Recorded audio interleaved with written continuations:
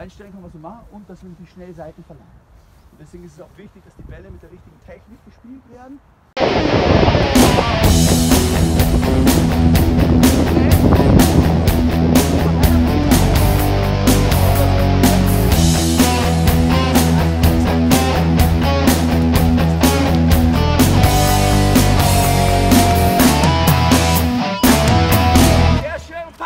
Super gemacht.